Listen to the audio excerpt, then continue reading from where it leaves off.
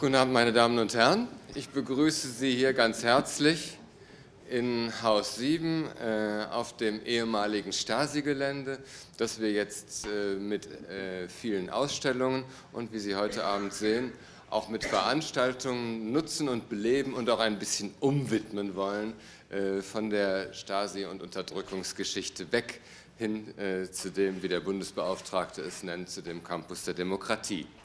Wir haben uns heute hier zusammengefunden, um ein Buch äh, vorgestellt zu bekommen, äh, das ich jetzt Ihnen hier nur nennen werde, nämlich die Monographie von äh, Douglas Selvage und Walter Süß, Stadtsicherheit und KSZE-Prozess. Ähm, das ist eines der wichtigen Prozesse, der in der Geschichte der DDR äh, das Aufweichen, so würde ich es jetzt mal hier ganz unfachmännisch sagen, das Aufweichen des harten äh, kommunistischen Kerns und der harten Unterdrückung eingeleitet hat, weil sich der Ostblock und damit eben auch die DDR auf einen Handel mit, der, äh, mit den westlichen Staaten eingelassen haben, um äh, wirtschaftliche Vorteile zu erlangen, um in den Kreis der Staaten aufgenommen zu werden äh, und äh, damit dann auch äh, Zugeständnisse machen mussten, die nicht so ganz auf der Linie der kommunistischen Länder lagen. Aber dazu werden die Autoren äh, gleich viel mehr sagen. Äh, wir haben heute hier äh, erstmal den Impulsvortrag von Douglas Selvage, der uns ein wenig in die Inhalte des Buches hineinführen wird und danach äh, die Diskussion äh, die Jacqueline Beusen dankenswerter und äh, erprobterweise fachmännisch äh, leiten wird. Und sie wird, wir sind gerade so ein bisschen unsicher, sie wird auch die Akteure dann vorstellen.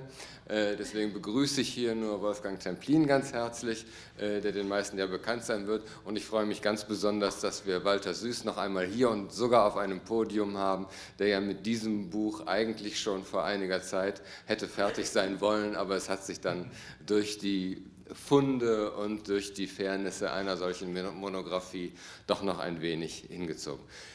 Ich freue mich, dass Sie heute zu uns gekommen sind. Mein Name ist Helge Heidemer, ich bin der Leiter der Abteilung Bildung und Forschung und damit werde ich Sie jetzt auch schon entlassen und Douglas Selbisch das Feld überlassen, der uns in dieses Buch einführt. Ich danke Ihnen.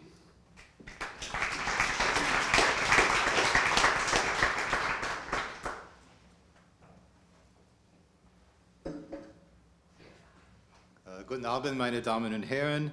Vielen Dank, dass Sie gekommen sind, um mehr über unser Buch zu erfahren, Stadtsicherheit und KSCE-Prozess.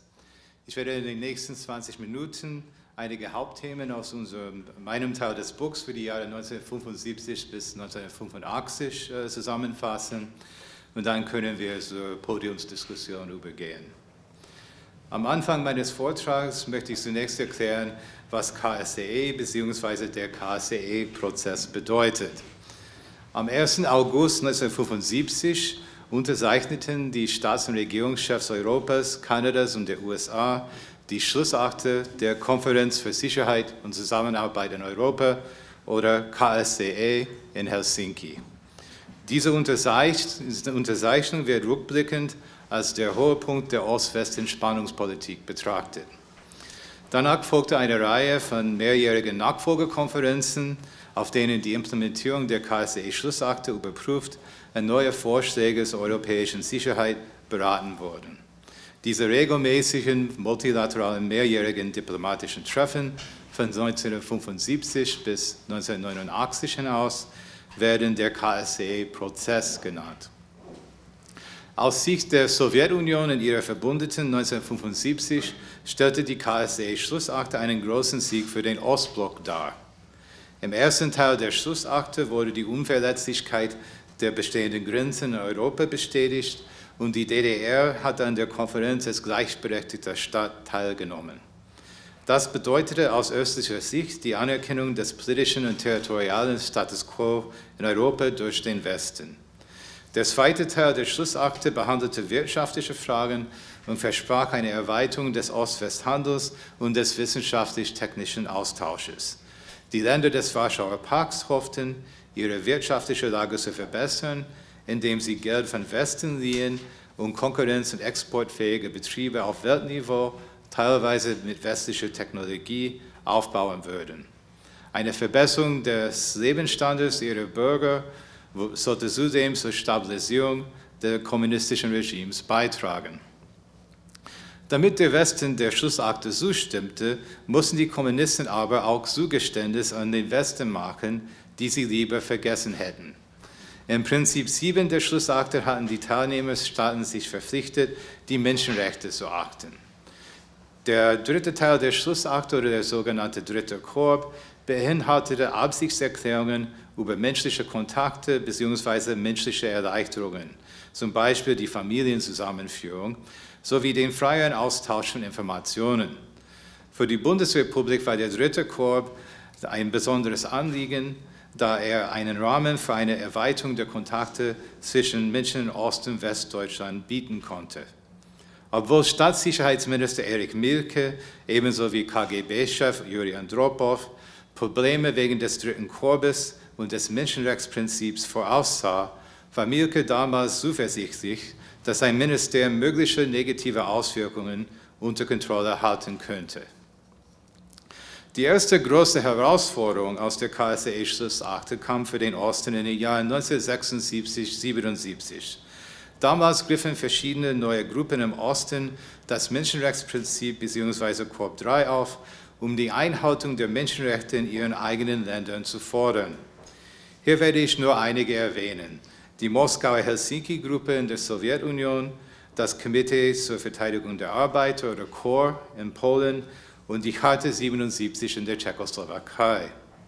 Solche Gruppen schrieben Berichte über die Nichteinhaltung der Prinzipien der Schlussakte durch ihre jeweiligen Länder und gaben sie an westliche Journalisten, Diplomaten und Nichtregierungsorganisationen wie Amnesty International weiter. Sie schufen damit eine internationale Öffentlichkeit für die Einhaltung der Menschenrechte auf Grundlage der KSE-Schlussakte. Auf den Nachfolgekonferenzen der KSE, deren Einberufung in der Schlussakte festgeschrieben war, machte die US-Regierung, beginnend mit der Amtszeit von Jimmy Carter 1977, die Kritik an der Nichteinhaltung der Menschenrechte durch den Osten zum Hauptschwerpunkt ihrer KSE-Politik. Mielke und das MFS fürchteten die Gründung so einer Helsinki-Gruppe in der DDR. Im Sommer 1977 schlug das MFS blinden Alarm. Es registrierte Kontakte zwischen Opposition, Oppositionellen in Jena und Naumburg, zur Charta 77 in der Tschechoslowakei und zum Westberliner Schutzkomitee Freiheit und Sozialismus. Es sah darin bereits die drohende Gefahr, der Gründung einer Bürgerrechtsbewegung analog der Charta 77 in der DDR. Parallel dazu verbreitete eine Gruppe von katholischen und evangelischen Theologiestudenten aus dem Kreis Naumburg eine Art von Charta 77 aus christlicher Perspektive unter dem Titel Frieden und Gerechtigkeit heute, das sogenannte Querförderpapier. Durch eine Reihe von sogenannten Ersetzungsmaßnahmen, das heißt Psychoterror, einzelnen Verhaftungen und innerkirchlichen Disziplinierungsmaßnahmen zerstreute die Stasi diese verschiedenen ostdeutschen Kreise und damit ihr hauseigenes Schreckgespenst von einer ostdeutschen Helsinki-Gruppe. Am 23. Mai 1978 prallte Generalmajor Paul Kienberg der Stasi bei einem Treffen mit seinen Amtskollegen von KGB.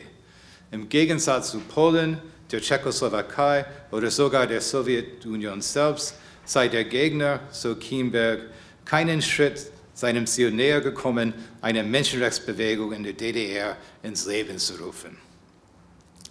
Trotz des Selbstlobs des MFS hatte die KSDE grundsätzlich wenig direkten Einfluss auf Oppositionellen in der DDR, zumindest vor 1985. Obwohl in einigen kirchlichen Kreisen recht aktiv über KSDE und Menschenrechte diskutiert wurde, hatten DDR-Oppositionellen überhaupt nicht vor, eine Helsinki-Gruppe zu gründen. Ulrike Poppe schrieb, und ich zitiere, die Oppositionellen in der DDR widmeten dem KSDE-Prozess nicht so viel Aufmerksamkeit wie die der anderen Ostblockstaaten. Zitat Ende. Sie sammelten sich vor allem in der unabhängigen Friedensbewegung als Reaktion auf die wachsende Militarisierung der DDR-Gesellschaft ab Ende der 1970er Jahren. Der Stasi-Generalmajor Kienberg verschwieg in dem erwähnten Gespräch mit den sowjetischen Genossen die größte Herausforderung für die DDR infolge der KSCE, das Entstehen einer Bewegung für ständige Ausreise nach der Bundesrepublik und Westberlin. Die Anzahl der Übersiedlungsersuchen arbeitsfähiger Erwachsener und Kinder stieg von knapp 13.000 im Jahr 1975 auf fast 20.000 im Jahr 1976 an. Und alle diese Ausreiseanträge, die meisten haben dann die KSA-Schlussakte zitiert als Grundlage für den Antrag. Die Ausreisebewegung in die Bedrohungsperzeption des MFS und der SED gelangten im August 1976 an einen Wendepunkt, als 33 Ausreiseantragsteller aus 16 Familien im sächsischen Riese eine Petition zur völligen Erlangung der Menschenrechte unterzeichneten. Sie warfen der DDR vor, gegen die KSA-Schlussakte und andere internationale Vereinbarungen verstoßen zu haben, indem sie ihnen die Ausreise verweigerte. Die Petition ging nicht nur an die DDR-Behörden, sondern auch an die Menschenrechtskommission der Vereinten Nationen und Vertreter der KSE-Teilnehmerstaaten.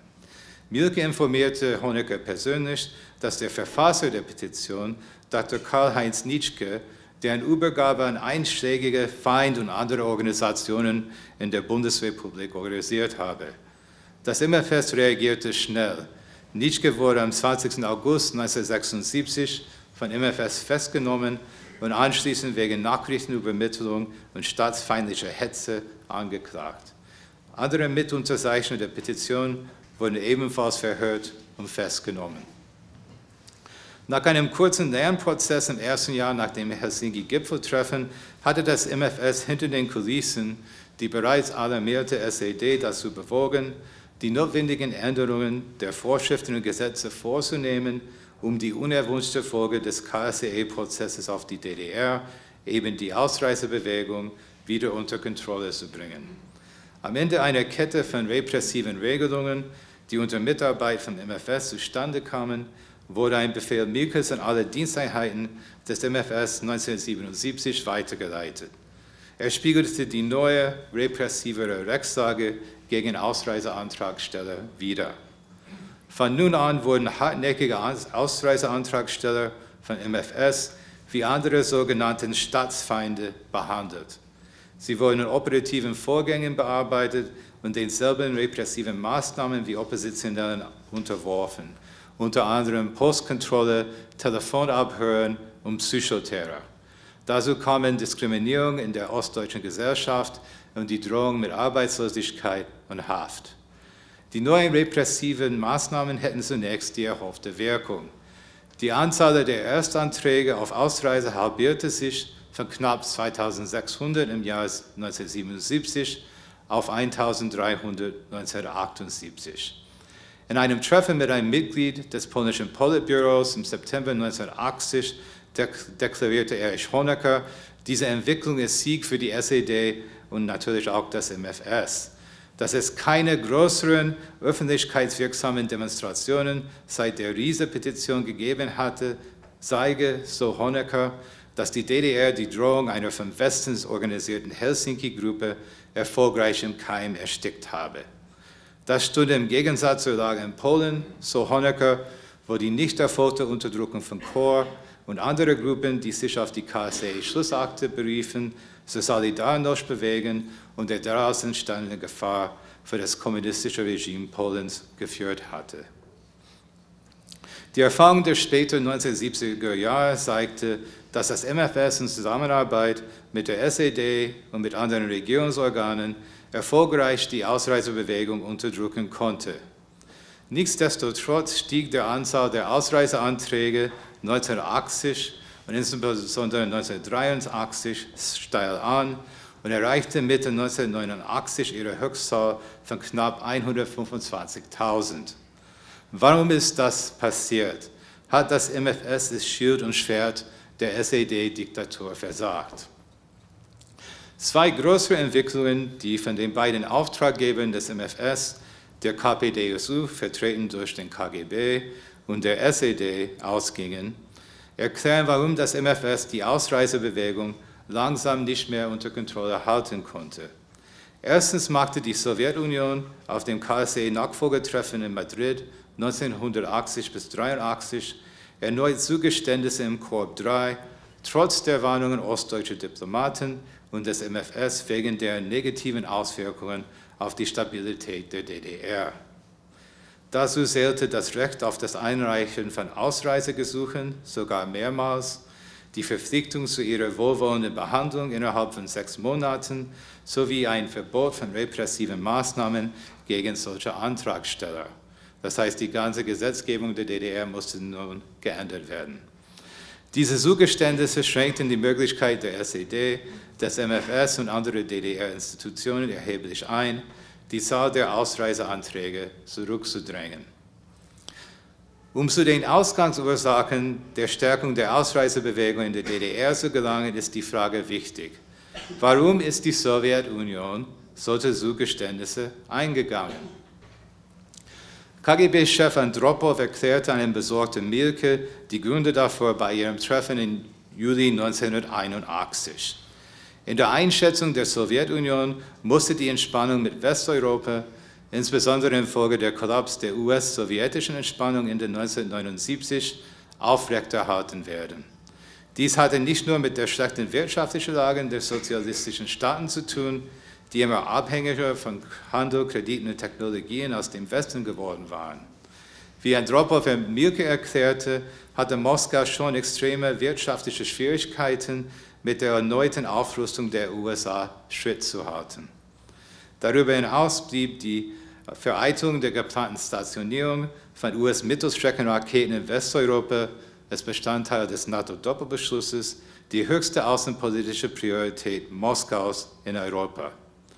Die UdSSR musste Zugeständnisse machen, so Andropov, um das Ziel einer europäischen Abrüstungskonferenz im KSCE-Prozess zu erreichen die aus Moskauer Sicht zu diesem großen Ziel beitragen sollte. Das heißt, exogene Gründe, die nichts mit dem KSCE-Prozess zu tun hatten, führten auf dem Madrider KSCE-Treffen zur Kompromissbereitschaft Moskaus auf Kosten der DDR. Diese exogene Gründe waren die relative, die relative und wachsende wirtschaftliche Schwäche der östlichen Staaten gegenüber dem Westen, der neue Rüstungswettlauf zwischen den Supermächten infolge des sowjetischen Einmarsches in Afghanistan und der NATO-Doppelbeschluss. Trotzdem hatte Moskau aus eigener Sicht die SED nicht im Stich gelassen. Seit der KSE-Schlussakte oder sogar seit dem Grundlagenvertrag von 1972 hatte Brezhnev Honecker klargemacht, wie man die ungewollten Auswirkungen der Entspannungspolitik auf die DDR, darunter die Ausreisebewegung, unter Kontrolle halten konnte durch eine Politik der konsequenten Abgrenzung der DDR von der Bundesrepublik. Das heißt, die DDR sollte nicht nur deutsch-deutsche Kontakte und Besuche, sondern auch die deutsch-deutsche Wirtschaftsbeziehungen oder zumindest die Verschuldung der DDR bei westdeutschen Banken auf einem Minimum halten. Das, hatte, das aber hatten Honecker und sein CK-Wirtschaftssekretär Gunther Mittag nicht gemacht. Und spätestens ab 1980 geriet die DDR in eine wachsende wirtschaftliche Abhängigkeit von der Bundesrepublik. Dies ist der zweite Grund, warum das MFS auch mithilfe anderer DDR-Institutionen die Ausreisebewegung nicht mehr unter Kontrolle halten konnte. Verschärfte Maßnahmen gegen Übersiedlungsersuchende, insbesondere nach den sowjetischen Konzessionen in Madrid, hätten die notwendige wirtschaftliche Unterstützung aus der Bundesrepublik gefährdet. Diese Abhängigkeit beeinflusste offenbar die Reaktion Honeckers auf eine Welle von Botschaftsbesetzungen durch ostdeutsche Ausreisewillige 1984. Er entschied gegen den Rat Mielkes, mehr als 23.000 Ausreiseanträge zu genehmigen. Honecker hoffte damit, sich das Problem potenziell auffälliger Ausreisewilliger mit einem Schlag vom Haus zu schaffen. Eine Repressionswelle schied als Option offenbar aus, war das den guten Willen und deshalb die wirtschaftliche Unterstützung der Bundesrepublik in Form von Krediten und insbesondere den damaligen Milliardenkrediten gefährdet hätte. Milliardenkredite hin oder her, das MFS konnte nach der Ausreisewelle 1984 weder alleine noch in Zusammenarbeit mit anderen DDR-Institutionen die Ausreisebewegung erfolgreich zurückdrängen. Ab 1985 musste das MFS sich dann auch noch bemühen, so wie die Geheimpolizei in den anderen Ostblockländern, eine einheimische Menschenrechtsbewegung, die Initiative Frieden und Menschenrechte, irgendwie unter operative Kontrolle zu halten. Die vom MFS Ende der 1970er Jahre befürchtete Internationalisierung der ostdeutschen Opposition war zustande gekommen, als die unabhängigen Friedensgruppen in der DDR Kontakt mit den Grünen, der Charta 77 und oppositionellen anderen Ostblockländern aufgenommen und sich öffentlich mit Menschenrechtsfragen und der KSCE auseinandergesetzt hatten. Glücklicherweise haben wir heute einen Mitbegründer der IFM auf dem Podium, äh, Wolfgang Templin, der mehr zu diesen Fragen sagen kann. Zusammenfassend sah die Lage für die DDR 1985, besonders aber auch für die Sowjetunion, auch im Zusammenhang mit dem KSCE-Prozess düster aus.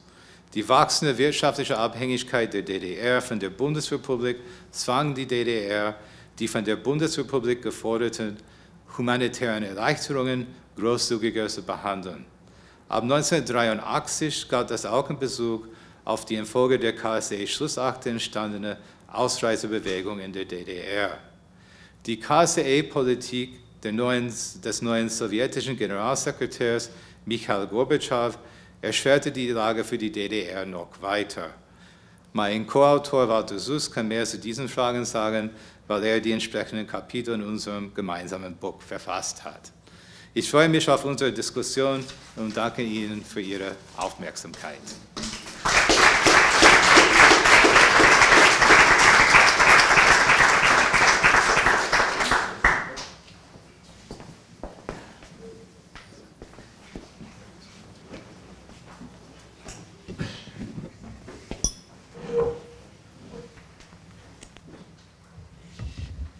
Ja, vielen herzlichen Dank, Herr Dr. Selvic, äh, für diese Einführung. Wir sind mitten im Thema.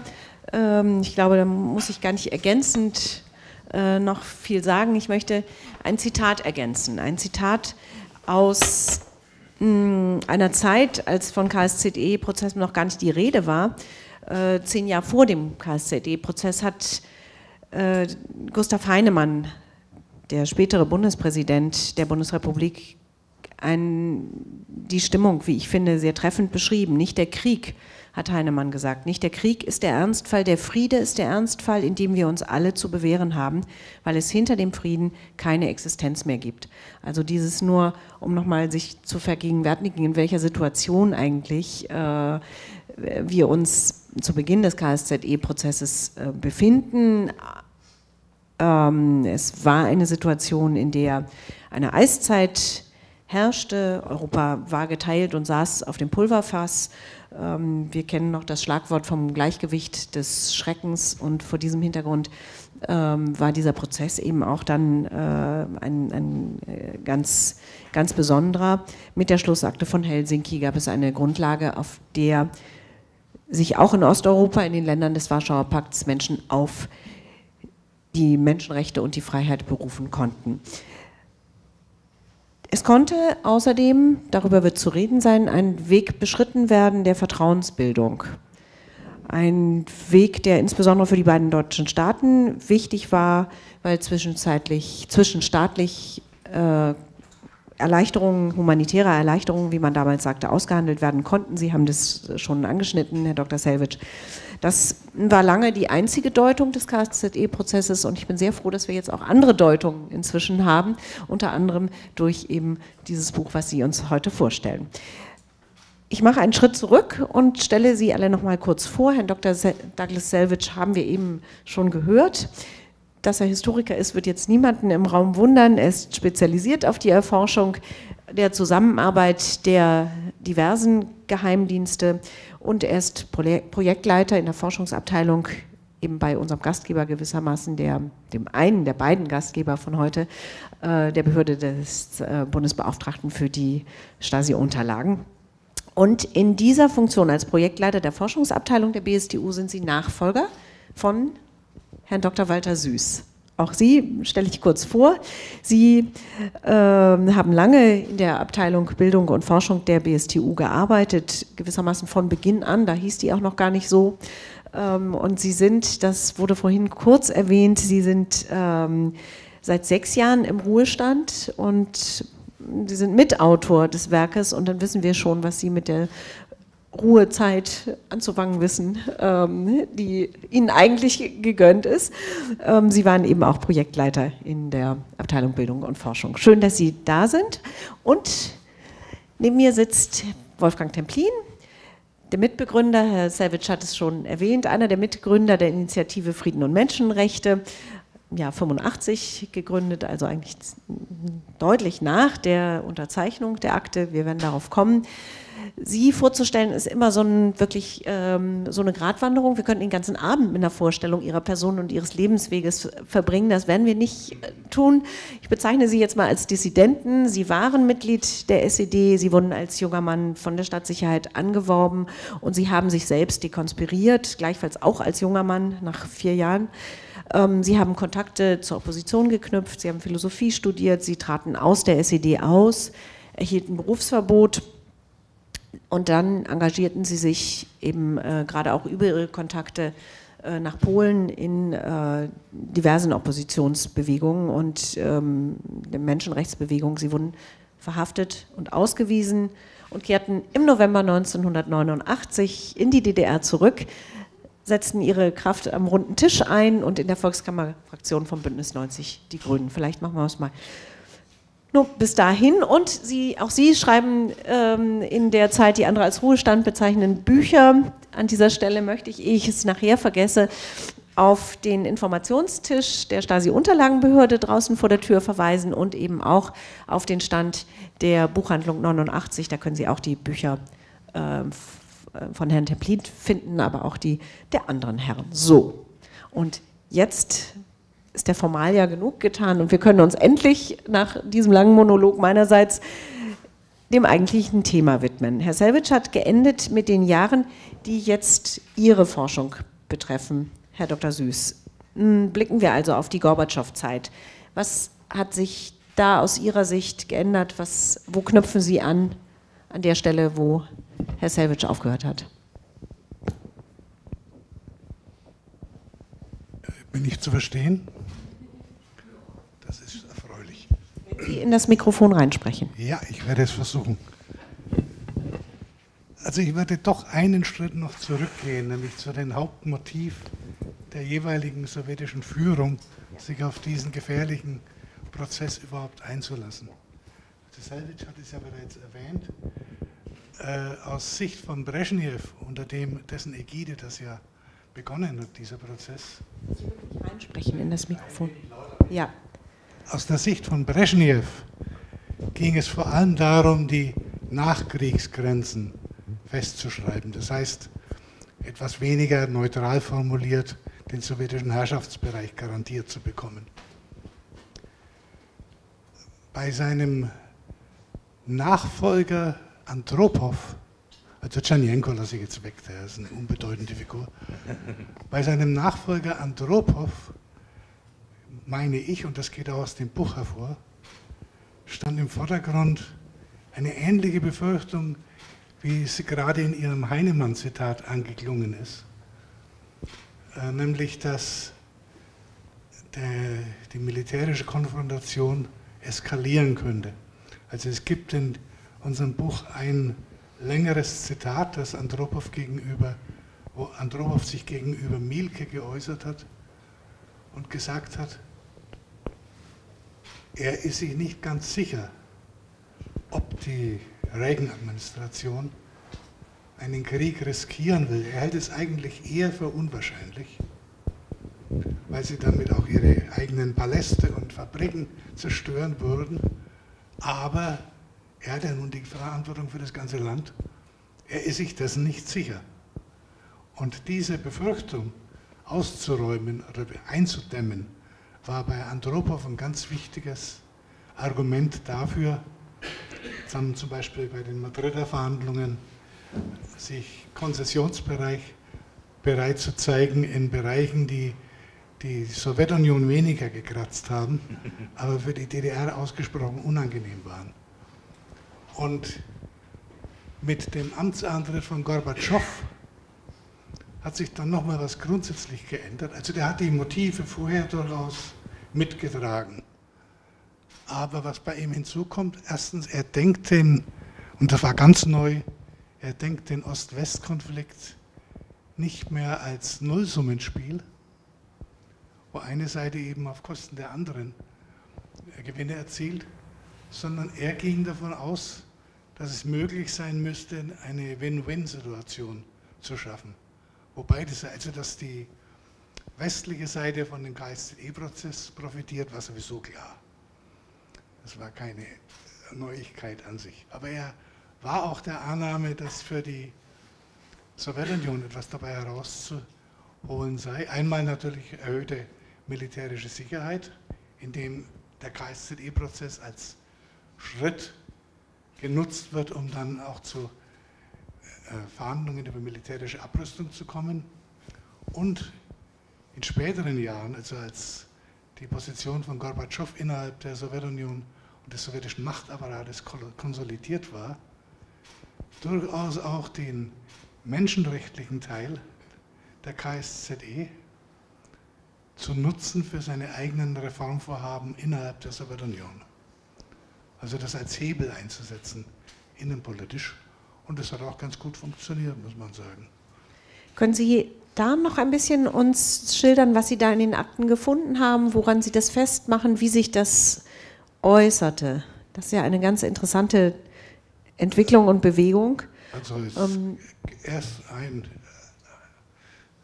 die erste Basis für die Aussage sind, Aussa sind Memoiren vor allem von sowjetischen Teilnehmern an den KSZE-Verhandlungen und von sowjetischen außenpolitischen Funktionären, die genau das berichtet haben. Also, also Sagorsky zum Beispiel, der in der sowjetischen Delegation zuständig war für Menschenrechtsfragen in der Spätphase der KSZE, also in Wien.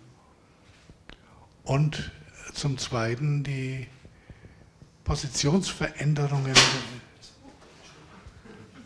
die Positionsveränderungen äh, der Sowjetunion in den internen Verhandlungen mit den anderen Osten äh, europäischen KSZE-Teilnehmern, wo sie erst relativ einsam und dann mit Unterstützung vor allem der ungarischen Delegation und der polnischen Delegation sich dafür eingesetzt haben, im Bereich der Menschenrechte, der, vor allem der, der menschlichen Beziehungen zwischen beiden Blöcken, der Erleichterung der Kontakte und so weiter und so fort, Konzessionen zu machen. Und gleichzeitig immer wieder das Argument, weil natürlich etwa von Honecker oder auch von Mielke argumentiert wurde, ihr seid dabei, die DDR zu destabilisieren. Wir können uns das nicht leisten. Und dann kam immer das Argument, ja, wollt ihr daran schuld sein, dass es zu keinen Abrüstungsverhandlungen kommt? Und als diejenigen in der Weltöffentlichkeit dastehen, die das damals verhindert haben. Und da haben sie noch jedes Mal gegriffen. Da würde ich gerne auch noch mal etwas vertieft einsteigen bei dieser Frage, die Sie angedeutet haben zur äh, Haltung oder Beurteilung des Prozesses Erich Honecker und Mielke. Der eine war dafür, weil er sowieso bestrebt war, die DDR, seine schönste und beste DDR, um es mal ein bisschen polemisch zu sagen, als satisfaktionsfähig auf internationaler Bühne zu, be, äh, zu, zu präsentieren und inwieweit, es geht ja schließlich um Stadtsicherheit und äh, KSZE-Prozess, das Buch, ähm, inwieweit äh, war Herr Mielke da wirklich also deutlich skeptischer und abweisender und vorsichtiger, wie auch immer wir das nennen wollen? Ja, also zum einen war Honecker außerordentlich bestrebt, das war glaube ich für ihn, also was für die Sowjets unter Brezhnev die Anerkennung der Nachkriegsgrenzen war, war für Honecker die Anerkennung, die vollständige völkerrechtliche Anerkennung der DDR, uneingeschränkt. Und diesen Zahn hat ihm schon Brezhnev gezogen. Also dass erstens sowieso die deutsch-deutschen Querelen nicht auf KSCD-Verhandlungen gehören und zum Zweiten, dass er also nicht übertreiben soll. Aber das war also so das Hauptmotiv von Honecker ursprünglich bei diesem Prozess. Und dann natürlich, was Selwitsch ja schon dargelegt hat, die zunehmende wirtschaftliche Abhängigkeit von Krediten aus der Bundesrepublik, die ein gewisses Wohlverhalten notwendig machte. Sonst bekommt man halt keine Kredite mehr. Und äh, dieser Aspekt war aus Sicht von Honecker, der außerdem um sein, immer um sein, der ist ein sehr eitler Mensch gewesen, um sein Image im Westen auch besorgt war und dass er als ein Friedensfreund ist und so weiter und so fort. Äh, und aus Sicht von Mielke stellte sich das insofern anders dar, weil Mielke nicht die wirtschaftlichen Aspekte in den Vordergrund rückte, sondern wie es seines Amtes war, die Sicherheitsaspekte. Und da fand er das, diesen KSZE-Prozess aus naheliegenden und durchaus begründeten äh, Gründen gefährlich und war deshalb skeptischer als Honecker. Und auf der anderen Seite kam auch noch hinzu, dass, was Selvitsch auch schon erwähnt hat, die sowjetische Maxime war, um die Stabilität der DDR zu retten, möglichst strikte Abgrenzung von der Bundesrepublik. Und das war etwas, ein Motto, das Mielke sofort unterschrieben hätte, weil es ihm natürlich auch die Arbeit erheblich erleichtert hätte. Und womit er sich aber nicht durchsetzen konnte, weil Honecker seine anderen Ziele mit so einem Kurs nicht hätte realisieren können. Ja, damit ist im Grunde auch schon äh, sehr schön erklärt, dieses äh, wichtige, fast ikonografische Bild hinter uns oder was auch das Buch ziert. Die DDR sprach von völkerrechtlicher Anerkennung, die gab es aber nicht, vor allem nicht durch die Bundesregierung, die, egal welche, äh, welche parteipolitische Konstellation, also mit Helmut Schmidt, aber dann auch äh, danach ähm, mit Helmut Kohl, ähm, sich im Verlauf und in den Nachwehen der neuen Ostpolitik ähm, zwar darauf eingelassen hat, mit der DDR zu verhandeln, sie also staatsrechtlich anerkannt hat, aber nicht völkerrechtlich und völkerrechtlich an der Präambel des Grundgesetzes immer festhielt und die Unteilbarkeit der Nation über allem gewissermaßen stand. Äh, man hat sich äh, in diesen Prozessen darauf verständigt, okay, da sind wir uns nicht einig, DDR und Bundesrepublik, verhandeln müssen wir trotzdem. Das war sozusagen der der Fortschritt, aber natürlich ähm, ist das, uns erscheint das heute so ein bisschen als Petitesse und so ein bisschen kleinkariert oder korinthenkackerisch, Entschuldigung, aber das war halt ein äh, wirklich äh, im, wahrsten Sinne des Wortes äh, Staatsräson auf, auf beiden Seiten in gewisser Weise. Wir machen einen Schnitt und kommen zu Ihnen, Herr Templin. Jetzt haben wir gewissermaßen die analytische Seite, die, äh, was es machtpolitisch bedeutete für ähm, Erich Honecker oder eben auch für die Sowjetunion.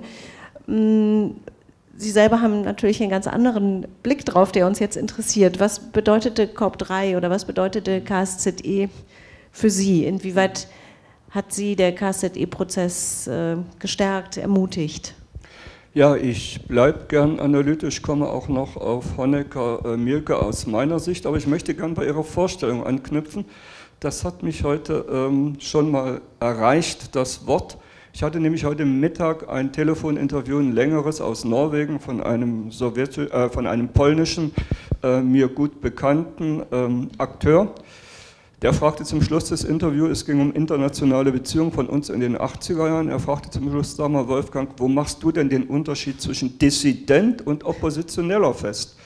Ich würde mich äh, in einer Kurzvorstellung natürlich DDR-Oppositionellen nennen und ich habe heute im Interview gesagt, der Unterschied für mich, ich sollte spontan, kurz, schnell antworten, ist, ähm, ein Dissident ist jemand, der aus einer vorgegebenen Denk- oder Überlegungsrichtung herausgeht, anders denkend wird.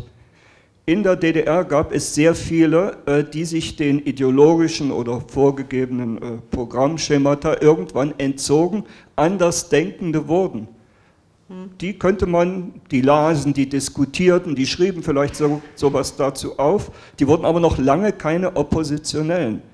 Ich habe heute gesagt, ähm, in jedem Oppositionellen steckt natürlich das Moment, der Anteil, der Teil von Andersdenken, Dissidenz. Aber die Frage der Entscheidung zur Aktion, zur offenen Arbeit, zum politischen Widerstand überzugehen, der resultiert ja nicht nur aus dem anders erkennen, denken, sondern das sind andere Entscheidungsprozesse. Also hier die ja. Frage Dissident, Oppositioneller. Wir sind beim dritten Punkt, der erwähnt wurde.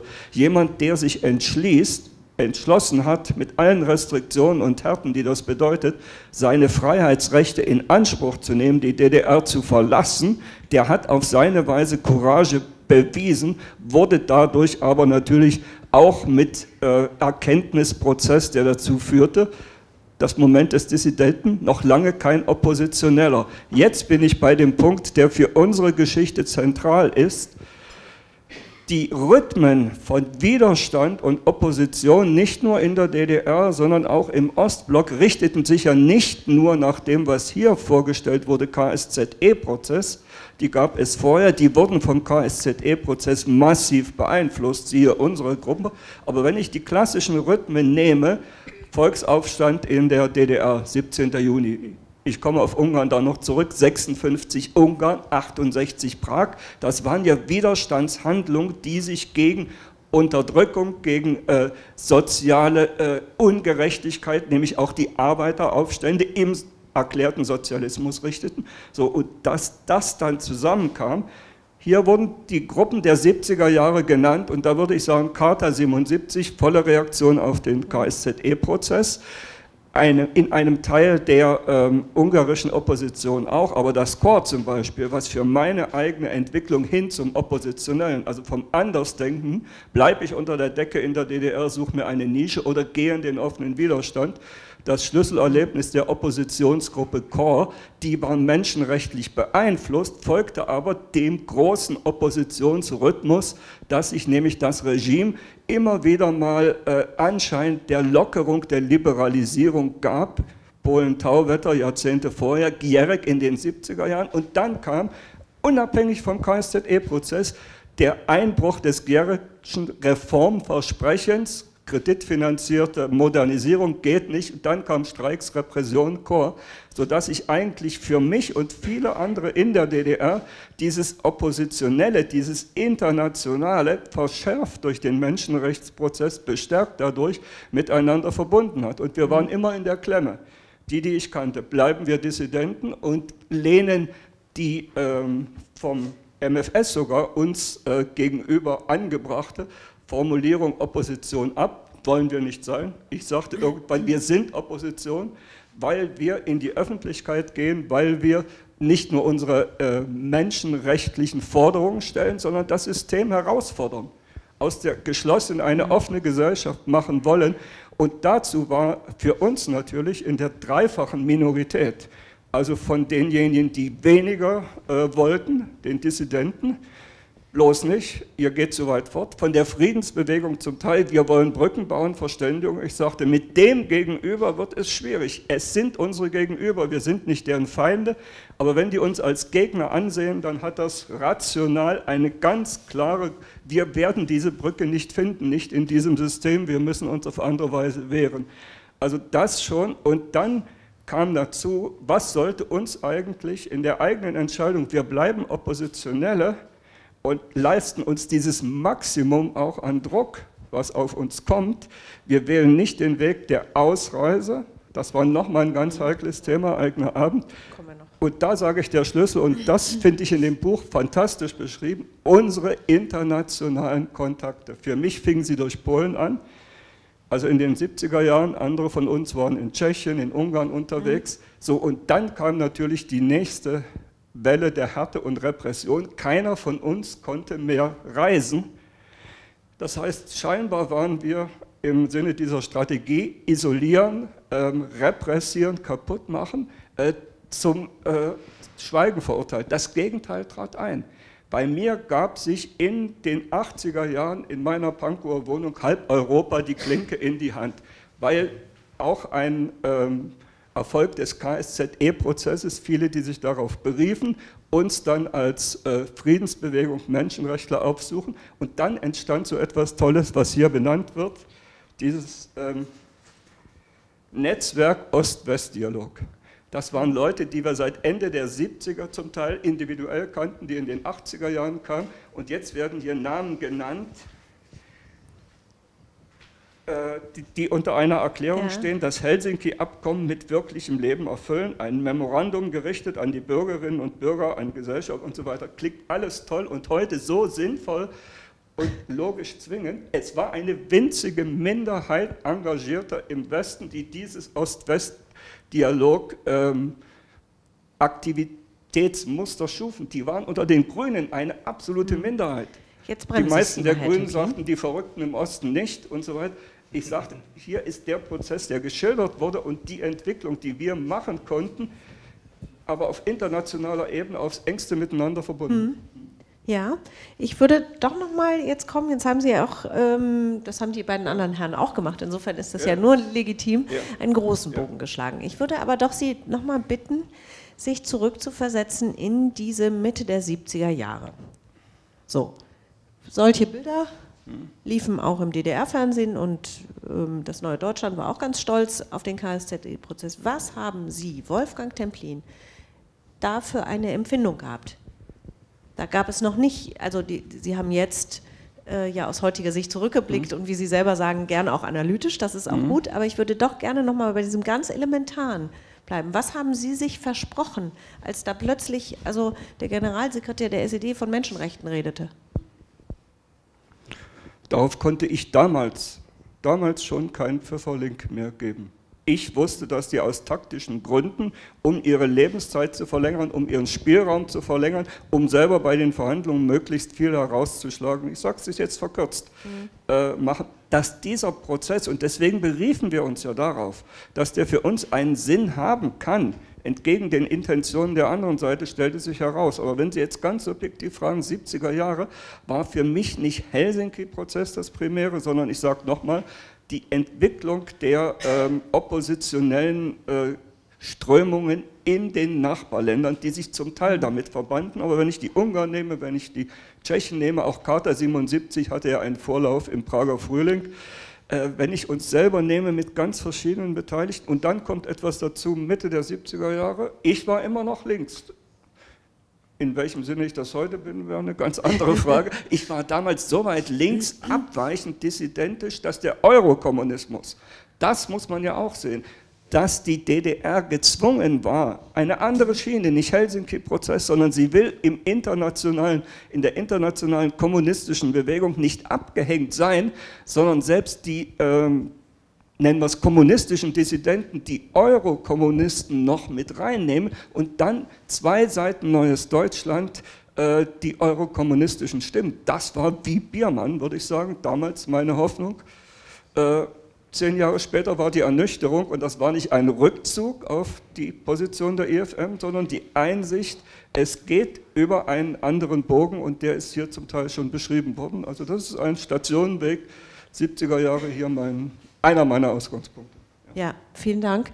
Herr Selvic, Sie haben ähm, ja nicht nur die Geschichte von Herrn Templin untersucht, sondern sind in den Stasi-Akten über sehr, sehr viele und vor allen Dingen über die Strategie des MFS äh, haben Sie geforscht und äh, haben Spuren gefunden, eben von Oppositionellen, ähm, die, die sich vom KSZE-Prozess etwas versprochen haben für ihre eigene Situation, eine Lockerung. Können Sie das ergänzen aus Ihrer Sicht, was ähm, Herr Templin gesagt hat, aus persönlicher Sicht geschildert hat, diese, seine Feststellung auch so, ich konnte da keinen Pfifferling drauf geben. Deckt sich das mit dem, was ähm, auch andere oppositionelle Gruppen äh, empfunden Wie ich gesagt habe, ich denke, 1977 hat das MFS eigentlich übertrieben, die Bedrohung aus äh, der KSC-Schlussakte. Es gab natürlich Einzelpersonen, äh, die äh, etwas unternehmen möchten, vielleicht sogar ähnlich zu Harte 77. Aber ich habe auch mit einigen gesprochen, die in die Stasi-Akten vorkommen, die sogar verhaftet worden sind. Und sie sagen, dass das alles übertrieben war. Und es gibt jeder vernünftige Grund zu sagen, dass das war auch der Fall. Man könnte sagen, okay, das MFS hat vorausgesehen, zum Beispiel Harte 77, es gab einen Prozess gegen eine Rockgruppe, uh, Plastic People of the Universe. Und aus diesem Prozess in der CSSR dann äh, formierte sich langsam dann Karte 77 und es kann sein, dass die Personen, die 76, 77 sowas gemacht haben. Sie haben das nicht vorausgesehen. Das MFS hatte vielleicht doch besser gewusst, aber ich denke, das ist auch äh, übertrieben, wie ich gesagt habe. Äh, ich glaube trotzdem, es gab natürlich einen bestimmten indirekten Einfluss auf die DDR-Opposition, äh, weil äh, Natürlich, es gab diese Kontakte zu Chor, es gab diese Kontakte zu Harte 77. Sie haben neue Taktiken entwickelt, äh, das Leben in der Wahrheit, äh, Leben als wäre, es wäre dann die äh, Grundrechte in der Verfassung, als würde diese Regierung die irgendwie wahrnehmen. das war auch, sie haben Taktiken gelernt, dass irgendwie auf diese Versuch dann über die KSA Schlussakte zu tun, es würde ihre Regierung das respektieren in der Öffentlichkeit haben sie das dann indirekt vielleicht übernommen, aber es war erst später, als diese zwei Strömungen zusammengekommen sind mit der unabhängigen, mit der Friedensbewegung und mit äh, Charta 77 in den 80er Jahren, dann sind sie wieder international präsent geworden. Und das ist, was das MFS und die anderen Geheimdienste auf allen Fällen vermeiden wollten, weil sie haben gesagt, das macht schlechte Presse für uns, äh, wir sollen sagen, dass wir alles unter Kontrolle haben, sonst gibt es mehr Opposition. Auf der anderen Seite, wenn wir sie unterdrücken, dann haben wir Probleme mit unseren Krediten im Westen, äh, grob gesagt.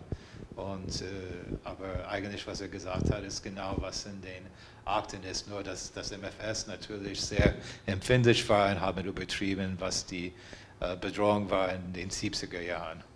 Ja, was hat das MFS konkret ähm, sich überlegt, um ähm, aus seiner Sicht, ich spreche jetzt äh, gewissermaßen wie ein MFS-Mensch vielleicht gedacht haben mag, um äh, den Prozess mög so möglichst ähm, äh, unschädlich für die Stabilität der DDR zu halten. Also ähm, was hat man sich überlegt an Taktiken und Strategien? Menschen wie Herrn Templin und andere gewissermaßen äh, in der Spur zu halten? Na, uns für politische Fundamentalisten und für äh, richtig äh, verrückt zu erklären. Das heißt also, gewisse Kampagnen gegen mich sind dann nur die Spitze, aber das galt ja auch für die anderen. So, und dieser Unterschied Honecker-Mielke, für mich hat Mielke im klassischen Sinne kommunistisch machterhaltend äh, gehandelt, die ganze Zeit. Nämlich, äh, egal was sich an Außenbedingungen verändert, die Machtfrage ist entscheidend und wer zurückweicht, der verliert die Macht. Und wenn wir nicht die Macht festhalten, Genossen, dann drücken die uns an die Wand. Natürlich war das nicht unsere Logik, aber das war dann die äh, Sicht des äh, klassischen Kommunisten auf den Gegenüber. Honecker, ich äh, sage nicht, dass ich keine Hoffnungsgestalten im SED-Horizont hatte, aber zu denen gehörte auch in den 70er Jahren eben nicht Honecker.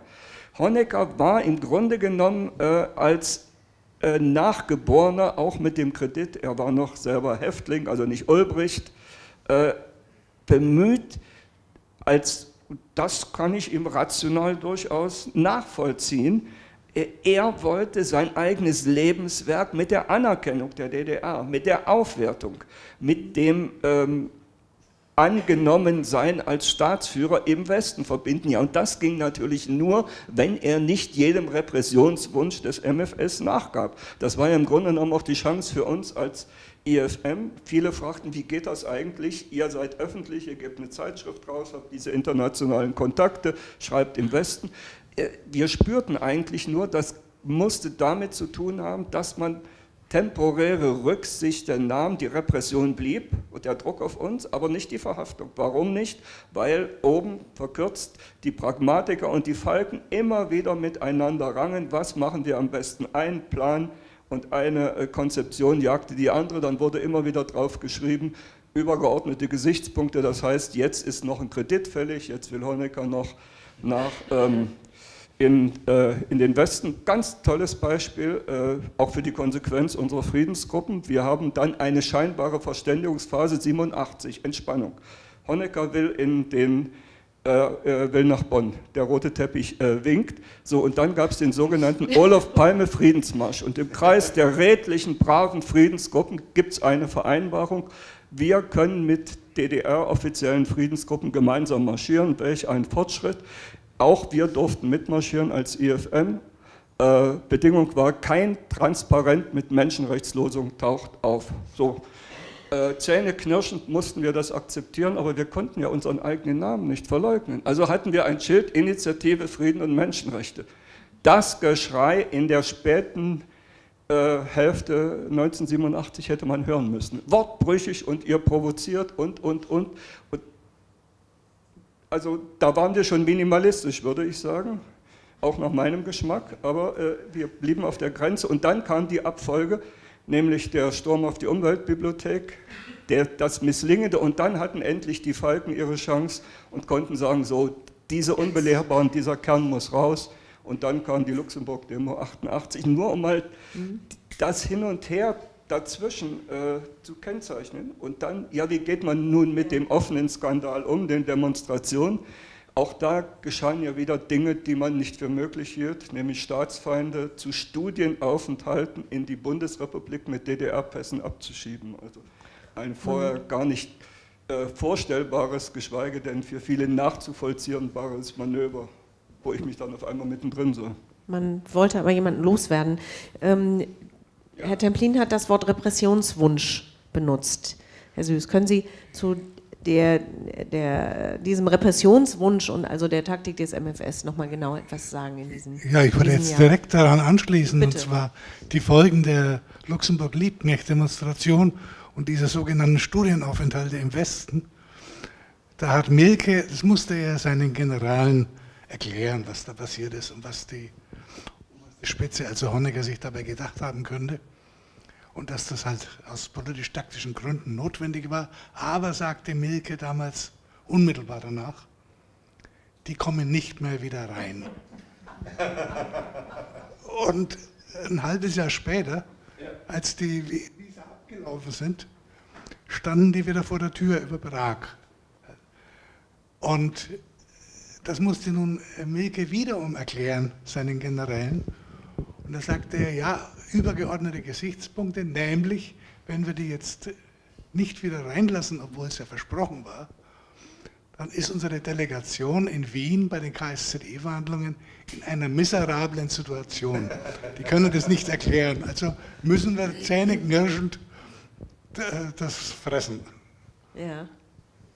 Das heißt, wenn wir uns fragen, was für eine Wirkung eigentlich hatte der, der KSZE-Prozess ähm, und seine Nachwirkungen, dann äh, klingt es jetzt so, als hätte es tatsächlich ähm, in gewisser Weise auch Konzessionen äh, gegeben, ähm, selbst im Sicherheitsapparat. Ja, unbedingt, denn äh, Templin hat schon angesprochen, diese Vernetzung, internationale ja. Vernetzung der Oppositionsgruppen.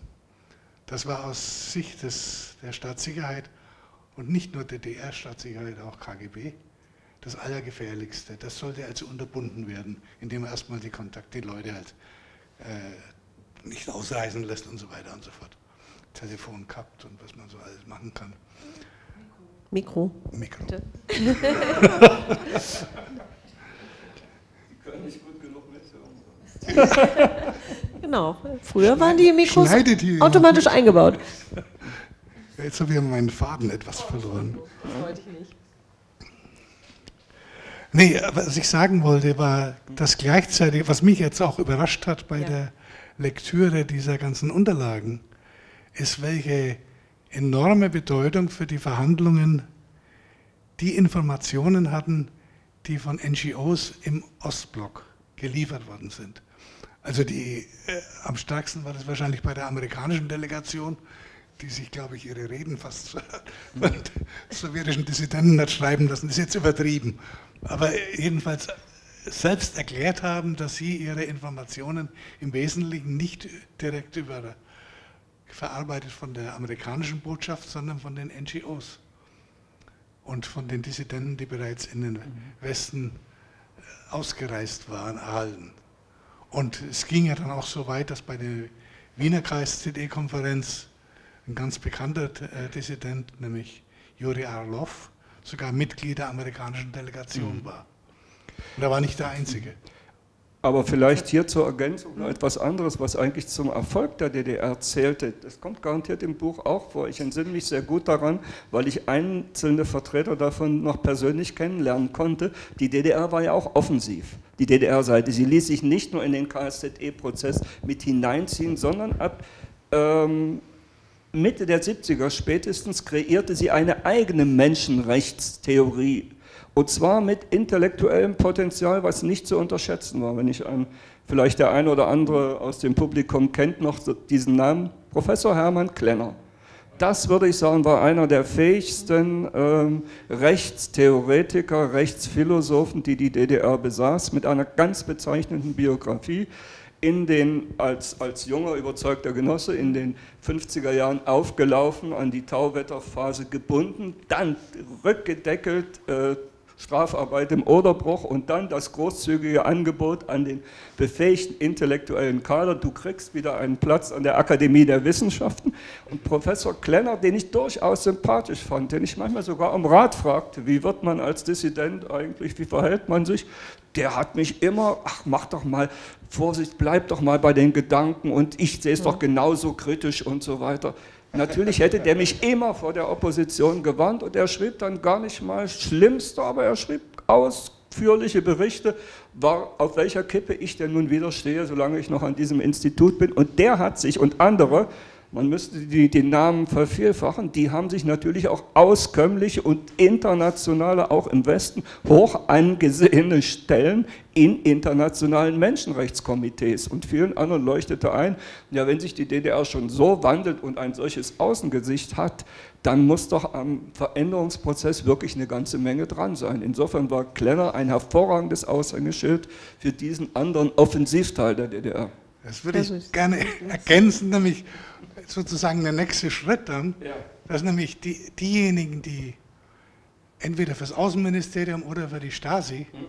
in diesen etwa UNO-Menschenrechtskommission waren, die kamen zurück und mussten in der Staatssicherheit berichten.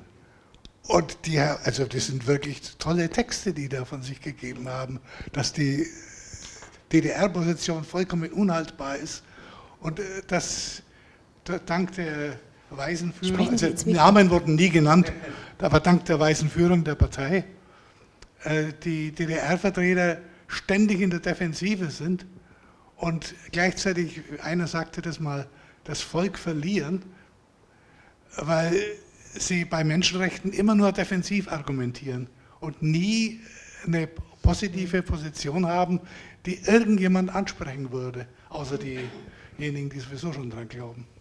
Ja. Ähm, wir wollen gar keinen Monolog unter uns führen, sondern auch Sie sollen die Gelegenheit haben, fragenlos zu werden. Ähm, das kündige ich mal an, dann können Sie tief durchatmen und sich eine solche überlegen. Und vorher würde ich, weil ich jetzt sowieso einen Bruch organisiert habe, ähm, Ihnen beiden eine Frage stellen, die vielleicht erforderlich macht, dass wir mal einen Schritt zurücktreten und Sie sich zurückversetzen, nicht in die äh, Jahre des KSCE-Prozesses, sondern in die Zeit, als Sie begonnen haben, das Buch zu schreiben und was ist jetzt daraus geworden? Was ist das, was Sie während Ihrer ja dann auch sehr kleinteiligen und unheimlich ausführlichen Recherche am Ende am meisten überrascht hat, Herr Selvich? Wo würden Sie sagen, das habe ich so nicht erwartet oder da muss ich auch die Fra Forschungsfrage vielleicht nochmal anders stellen oder ähm, da hat mich eine Trouvaille nochmal, also im Archiv nochmal auf einen ganz anderen Gedanken gebracht. Das ist ja schließlich in diesem, diesem Prozess, äh, wo man sich mit diesen Dingen auseinandersetzt, auch ähm, immer das Schöne, ja, dass man äh, doch noch was Neues für sich selber ähm, auch entdeckt. Gut, es äh, war für mich überraschend, äh, dass denn äh, äh, diese Friedensoffensive der Sowjetunion, dass sie immer dann irgendwie den Westen Richtung Abrüstung bewegen wollten und sie haben dann praktisch versucht, den KSE-Prozess dafür auszunutzen. Deswegen haben sie zum Beispiel Honecker gesagt, es geht nicht, dass sie dann versuchen, dann äh, auf diesen Nachfolgekonferenzen immer wieder äh, die Nichtanerkennung der DDR durch die Bundesrepublik oder ihre Staatsbürgerschaft oder Sachen über die Grenze. Wir wollen eigentlich nicht darüber reden. Was wir bekommen wollen, ist, wir wollen dann praktisch die anderen dazu bewegen, in Richtung Abrüstung, in Richtung äh, praktisch äh, und später natürlich dann, es war nicht mehr so sehr Abrüstung, aber den NATO-Doppelbeschluss zu vereiteln. Alle diese Sachen, sie waren nicht irgendwie getrennt, sie gehen zusammen. Und dann, wenn man das so äh, sieht, dann was passiert ist nach 1983, eigentlich nach der Stationierung der Mittelstreckenraketen, es war immer diesen Kampf im KSE-Prozess, wo die Sowjetunion hat immer gesagt, Frieden, Frieden ist Nummer eins. Und die Amerikaner haben gesagt, Menschenrechte. Aber nach 1983, dann nach der Stationierung ironischerweise, dann das ist nicht mehr nur das Thema der Sowjetunion. Und man sieht, wie die unabhängige Friedensbewegung zusammenkommt mit Harte 77 und dann eigentlich dann, äh, es ist nicht mehr diese Themensetzung, wo die Sowjetunion versuchen kann zu sagen, oh, wir haben ein Monopol, wenn es um Frieden geht, ja, oder, oder dass man Frieden und Menschenrechte teilen kann. Ja, äh, das, äh, das ist sehr wichtig, finde ja. ich. Ja. Herr Süß. Was mich überrascht hat. Ah, aber das Mikro, bitte. Also erstmal hat mich überrascht die Kaltschnäuzigkeit, mit der sich die Sowjetunion über berechtigte Sicherheitsinteressen der DDR hinweggesetzt hat. Das hätte ich so eigentlich, also in dieser Brutalität hätte ich es nicht erwartet. Das ist das Erste. Das Zweite ist, was mich auch überrascht hat, war, was ich vorhin schon erwähnt habe, nämlich wie wichtig Informationen von NGOs auf der obersten diplomatischen Ebene waren. Ja. Äh, Also das zeigt wirklich, dass man, und das ist vielleicht auch für die Zukunft ein nicht ganz unwesentlicher Aspekt, dass man wirklich was machen kann als ganz normaler Mensch, wenn man sich politisch engagiert. Ja. Ähm, vielleicht kann man äh, da noch ergänzend, ich weiß nicht, ob die, das Buch das hergibt, danach habe ich auch nicht gesucht in dem Buch, äh, ähm, die amerikanischen Informationsmedien, Radio Freies Europa und Ja. ähm, waren ja äh, gewissermaßen besetzt oder hatten ganz viele Dissidenten in Ja. ihren Reihen, ja, also ähm, äh, und waren nicht ganz so ohne Einfluss mit dieser riesen Reichweite, die sie ähm, Nein, eben nicht. hatten. Ähm, aber das Also nicht für die DDR, nicht für die DDR, nee. da aber gab es Rias so- und äh, alle Westsender, aber für die Sowjetunion aus Sicht des KGB Ja. war Radio Free Europe, Europe Radio Liberty, Liberty. waren eigentlich die Hauptfeinde sogar. Ja, Also als die äh, sowjetische Führung, und das war relativ spät, dass sie das gemacht haben, 88, die Störsender gegen Radio Liberty und Radio Free Europe eingestellt hat, das war ein wirklicher Sprung äh, vorwärts. ja. Und da haben sie sich auch sehr, sehr lange dagegen gesträubt. Also viel länger als bei Ja, anderen ja. äh, Punkten. Sie haben das Mikro. Ja, zunächst äh, die Frage an Sie gleich. Äh, ähm, Rias, da habe ich noch gehört, wer Rias hört, den Frieden stört. Das haben Sie gerade erwähnt. Und äh, Sie waren sehr überrascht, äh, dass äh, die Russen sozusagen den Osten also haben hängen lassen, die DDR. Äh, bevor die etwas suffisant zu den Freunden wurden, waren sie der große Bruder. Und wie ein großer Bruder mit dem kleinen Bruder umgeht, wenn sie Geschwister haben, dann wissen sie das. Kleine. Ja, gut. Äh, Meine Frage aber nun, das war nur der direkte äh, äh, Einwurf. Meine Frage, das Buch heißt ja Die Staatssicherheit und der KSZE-Prozess. Nicht Erich Honecker oder das Politbüro oder was da, das Ministerium des Innern wäre ja dann ganz interessant. Die haben sich nämlich um die Ausreise dann maßgeblich mitgekümmert und da war nicht ein General Mielke, sondern ein General Friedrich Dickel damals zuständig. Ähm, meine Frage, die Stadtsicherheit hatte ja nun ganz viele Abteilungen und Unterabteilungen. Äh, mich würde interessieren, beschäftigen Sie sich in Ihrem Buch auch damit, ob die KSZE direkt Einfluss hatte auf eine Abteilung, die sich nämlich mit dem Vollzug der Untersuchungshaft beschäftigte. Also in so netten Einrichtungen hier in Berlin hatten wir drei, Hohenschönhausen, äh, dann äh, äh, Pankow, Kissingstraße, Arkona-Straße und Magdalenenstraße. Gab es da zu diesem Zeitpunkt eine Veränderung? Kann man sagen, ja. Also die, es gab ja eine Phase in der Spätphase der DDR, als klar war, dass es zur Reformpolitik kommen wird. Ganz offen unter Grenz, aber auch vorher schon, intern. Da sind die Diensteinheiten des MFS aufgefordert worden, Konsequenzen aus dem KSZE-Prozess zu ziehen. Also vor allem aus dem Wiener Abschlussdokument. Das war im Januar 89. Und da kamen von verschiedenen Diensteinheiten Vorschläge und ich würde sagen, die weitestgehenden kamen aus der Hauptabteilung 9 Untersuchung. Das ist auch leicht zu erklären. Also erstens, die Maxime war ja nun äh, von Milke ausgegeben, wir dürfen auf keinen Fall negativ auffallen. Weder im Westen noch, gegen, noch von Honecker vorgehalten bekommen, dass wir ihm die Arbeit schwer machen. Und die Mitarbeiter der HA9, die arbeiteten ja nun an der Schnittstelle zwischen der konspirativen Repression des MFS und der strafrechtlichen Repression über die Justiz. Und insofern waren sie da besonders gefordert, Fingerspitzengefühl zu entwickeln. Und äh, die haben auch relativ, naja, was heißt relativ früh, Anfang 89 ist eigentlich nicht früh, aber die haben jedenfalls auch schon gefordert, das politische Strafrecht zu entschärfen. Also die Paragraphen, mit denen äh, die vor allem sogenannte hartnäckige Übersiedlungswillige äh, verfolgt wurden, wenn sie nicht klein Bein gegeben haben.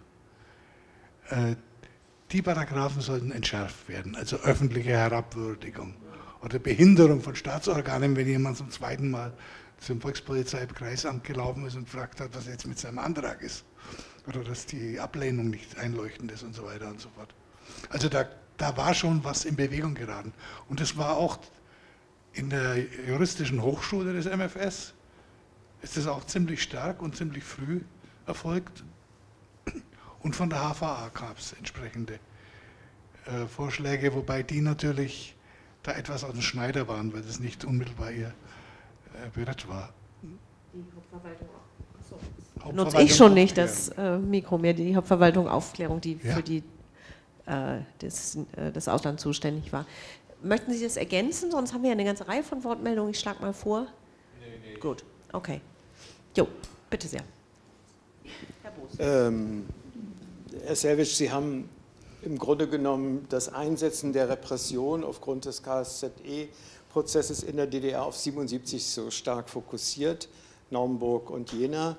Ähm, ich frage mich, ob man nicht auch schon 76 dieses Vorgehen gegen alles, was mit Biermann-Havemann zu tun hat, in gewisser Hinsicht äh, damit in Verbindung bringen muss. Also mich hat immer erstaunt, dass teilweise Übermaß der Verfolgung, guckt man jener Jugendgruppen an, die aus heutiger Sicht eigentlich eher harmlos waren, wie die also so dramatisch verfolgt worden sind.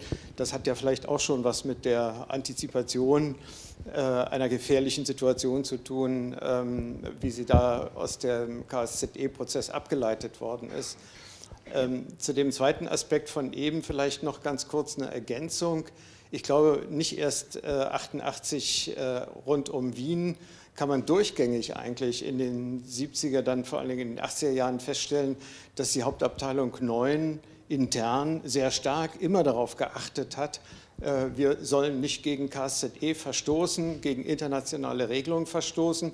Also ich, ungefähr 20 Prozent der Ermittlungsverfahren sind überprüft worden und unter anderem deswegen, damit es da keine nachweisbaren Verstöße gibt, weil man eben Angst hatte, dass ja auch zwischen den Konferenzen es Arbeitsgruppen gab, die das also genau dokumentiert haben. Und durch den Freikauf gelangte ja das Wissen von potenziellen Verstößen also auch in den Westen. Insofern denke ich, ähm, gab es natürlich auch einen indirekten Effekt für die Opposition oder die Dissidenz, weil damit ist die Repression ein bisschen domestiziert und in gewisser Hinsicht auch berechenbarer geworden. Also es war nicht mehr ganz so ähm, dramatisch, äh, die Konsequenzen, man konnte sie ein bisschen vorherberechnen, die Konsequenzen, äh, mit denen man zu rechnen hatte. Und nur eine Ergänzung oder Korrektur. Äh, die Hauptabteilung 9 hat sich natürlich äh, über Wien fast zerlegt, weil da gab es die alten und die äh, moderneren.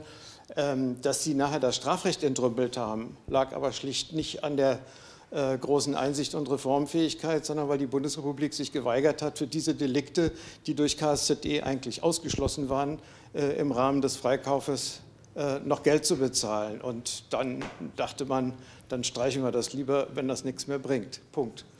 Ja, aber man dazu, hat, wenn ich da noch einen Satz ja, dazu sagen darf, sollten wir etwas sagen, Christian, ja. äh, man hat aber gleichzeitig dann gesagt, und zwar aus der HA9, gut, wenn die Bundesrepublik nicht mehr zahlt, dann lassen wir halt niemanden mehr aus dem Knast raus und die Leute sitzen so lange, wie sie verurteilt worden sind, was auch keine attraktive Alternative gewesen wäre.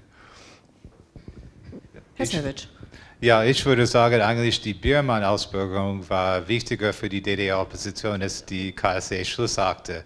Und es war nur natürlich nach der Biermann-Ausbürgerung. Dann, es gab dann einzelne Oppositionelle, wie ich gesagt habe, jene Naumburg, wegen der Ausbürgerung von äh, Biermann, wegen der Verhaftungsfälle von äh, Menschen, die dann solidarisiert haben, öffentlich mit Biermann, wenn sie verhaftet worden sind. Dann gab es dann diese kleine Bewegung, dann praktisch äh, auf die KSE-Schlussakte zu berufen, ähnlich zu machen wie Karte 77. Aber das war eher, wie ich gesagt habe, das wurde von der MFS unterdrückt und es war nicht so eine starke Bewegung. Und Biermann ist eigentlich ein perfektes Beispiel, weil Biermann und Habermann, sie haben auch äh, darüber geschrieben, äh, was so wichtig war, äh, an der äh, KSE-Schlussakte und Sie haben gesagt, dass es steht da, dass dann praktisch es soll keine weitere Einmärsche, es soll keine äh, praktisch Einmischung in innere Angelegenheiten geben wie Tschechoslowakei 1968. Das heißt dann, es gibt Raum für Eurokommunismus, es gibt Raum, Raum für diesen Reformkommunismus. Für sie war die Berliner Konferenz der äh, Arbeiterpartei 1976 viel wichtiger. Und so haben sie die KSE-Schlussakte gelesen. Das heißt, es gibt nun Platz für Reformkommunismus aller äh, Sozialismus, Sozialismus mit menschlichem Antlitz. Und das war weniger mit KSE zu tun als mit Eurokommunismus. Mhm. Und äh, wie äh, Wolfgang Templi schon gesagt hat, das war eigentlich wichtiger damals, auch im Folge der Biermann-Ausbürgerung, denke ich, auch für Biermann im Westen, auch für Habermann und auch für die ostdeutsche mhm. Opposition in diesem, in Mitte der 70er Jahren. Herr Templin. Ja, vielleicht nur zwei ergänzende Stichworte dazu. Wenn ich nehme Biermann-Ausbürgerung, was war denn die Voraussetzung der Biermann-Ausbürgerung? Biermann drohte die Schwelle vom äh, Status der Dissidenz, kleine Kreise, in denen er äh, seine Lieder aufführte, zwar längst nicht mehr gehätschelt, wie vielleicht noch äh, zehn Jahre vorher in den Kreisen der Obersten, von denen verstoßen, aber er durfte so eine, im Winkel existieren. Und erst als dann Leute aus den Kirchenkreisen kamen, Prenzlau, und Biermann ganz verwundert guckte, was wollen denn die Kirchenheinis von mir? Ich in der Kirche. Und dann auf einmal kommt er in die Prenzlauer Kirche und merkt, dort ist Öffentlichkeit. Das sind Leute, die ungeachtet aller Unterschiede zu seinen äh, postkommunistischen Träumereien äh, das, was äh, an äh, Spirit, das, was an Widerstand in seinen Liedern drin steckt, aufnehmen. Und die drohende Gefahr und das nächste, was wieder zeitgleich damit zusammenhängt, Baro. Baro hatte ja nun auch seine ganz anderen eigenen Intentionen, die dann zeitgleich damit zusammenkamen. Und der dritte, der mir einfiel, der wird viel zu oft äh, vergessen in der Zeit vorher.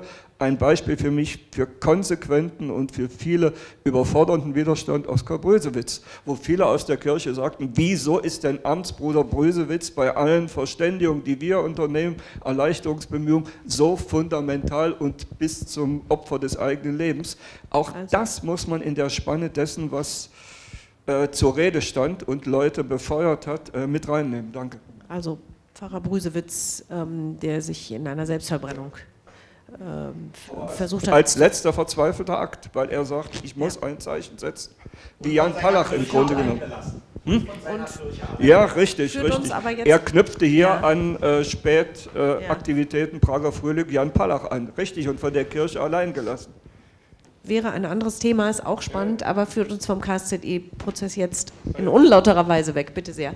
Ja, äh, ich möchte gern nochmal da trotzdem darauf verweisen, dass äh, Biermann, der ja zu dem Konzert in Köln noch äh, gesungen hat, so oder so, die Erde wird rot.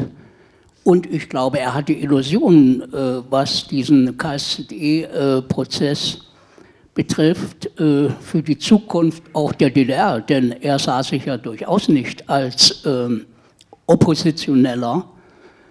Ähm, und äh, die Illusion wahrscheinlich, die verflogen erst, als er dann im Westen äh, war und hat sich dann von denen ursprünglich weit gelöst.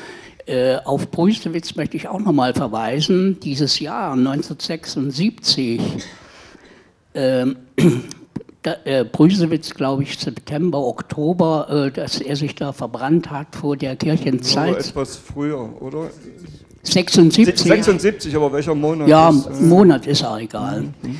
Äh, aber die Ausbürgerung Biermanns und die Folgen, die Unterschriften, also die, der Protest der zehn prominenten Schriftsteller und die Unterschriften, Tausende in den nächsten Wochen, ich betrachte es, äh, es brachte etwas in Bewegung, was die DDR in den Abgrund äh, geführt hat, Anfang vom Ende irgendwo, ja, weil solche Namen, Manfred Krug und Angelika Domröse, Hilmar Tate, die spielen vielleicht in der Politik keine so große Rolle, aber für den Normalbürger waren das Hochkaräter, ja. Ähm, Ich wollte jetzt eigentlich, äh, haben Sie mir äh, kurz vorweggenommen, Herr Temlin, mit die Alternative von Barrow lag ja eine fundamentale Analyse vor und äh, wie, welche Rolle spielte das bei denjenigen, die also kritisch auch äh, mit der, äh, äh, mit der Politik und auch mit dem KSC-Prozess äh, umgegangen sind, welche Rolle spielte das? Und ähm, zweite Sache äh, Wollen noch. Sie vielleicht erstmal ähm, Es gehört kurz dazu, ich bin gleich- Ja, ja. antworten lassen und ich wäre sehr froh, wenn es einen Bogen Ja, ja. zum Ja. KSZE-Prozess gibt in Ihrer Frage. Ja, äh, und zwar der, äh, die Leute, die kritisch der Politik der DDR gegenüberstanden, innerhalb jetzt also der DDR, die mussten ja mit einem weinenden und einem lachenden Auge dann den Prozess sehen der Antragsteller, weil sie soll, die Guten sollten ja nicht weggehen, die sollten eigentlich hier bleiben und äh, gemeinsam äh, arbeiten daran, dass die DDR reformiert und auch demokratisiert wird. Ja, ich komme zum KSZE-Prozess. Mir hat meine polnische Erfahrung von 1976, 77, ein akademisches Jahr, verblüffend diese Zeitgleichheit. Ich bin in Polen, das Chor entsteht, Biermann, Barrow. So, mir hat die verholfen, die polnische Erfahrung, mich von Barrow weg zum K auf die Ebene KSZS, KSZE-Prozess hinzubewegen. Warum? Eine treffende und eine wirklich gründliche Analyse, da konnte man Barrow folgen. Und in, im zweiten Teil der Alternative eine kommunistisch verstiegene Erziehungsdiktatur, die angeboten wird, die mir mit meinen Realerfahrungen schon sagte, Vorsicht. Und dann das Chor und die damaligen Oppositionsbewegungen waren plural, die sagten, wir können kein gemeinsames Wunschanbauprogramm machen. Wir haben Linke, Konservative, wir haben eine Brücke und das war dann das Beharren auf fundamentalen Freiheits-, sozialen und Menschenrechten. Das war die Brücke und da konnte ich dem KSZE-Prozess auf einmal das abgewinnen, was für viele andere Oppositionelle galt. Andere, da will ich überhaupt keine äh, Gleichsetzung vornehmen, andere hingen sehr lange an Barrow. Für die war genau das, äh, woran sie hingen, konsequente Kritik und dennoch aber in einer festen Gewissheit bleiben. Also können Sie bis heute finden, wenn Sie fundamentale Gegenbewegung nehmen. Ich lehne die Welt so wie sie ist ab, gebe auch gute Gründe dafür. Sie ist, wissen wir alle, wie unfertig. Und ich baue das Fertige an die Wand und dann handle ich danach und haue alles, was dem entgegensteht. Äh, Gut, Barrow war da milder, er wollte es mit Erziehungsdiktaturmaßnahmen machen. Der Bund der Kommunisten, die beste Vorhut, die man sich je denken kann. Vielen Dank. Sie haben das Mikrofon ich- und gewissermaßen auch die Chance zu einer letzten Frage. Ja, äh, gut. Ich wollte mal fragen, wie denn die Schlussakte und der spätere KSZE-Prozess äh, in der DDR verbreitet wurden und ob es da auch eine Diskussion in der ähm, Öffentlichkeit gab, außerhalb der Fachkreise.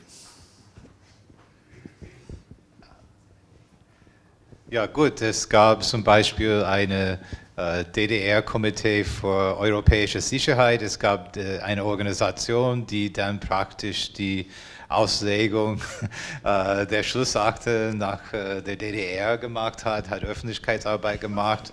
Äh, die DDR-Presse hat natürlich berichtet über diese Treffen, einige mehr als andere.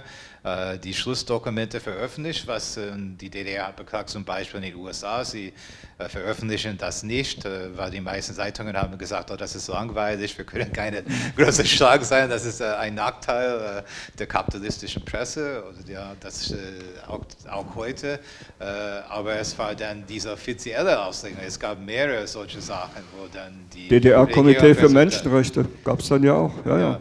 Und es gab auch zum Beispiel äh, äh, auch Teile der Kirchenleitung, äh, zum Beispiel Manfred Stolpe, wenn ich mich äh, richtig erinnere, war auch aktiv manchmal bei, äh, sie haben immer getroffen, die äh, DDR-Delegation nach KSE treffen, sehr oft haben sie mit der Kirchenleitung der evangelischen Kirchen getroffen.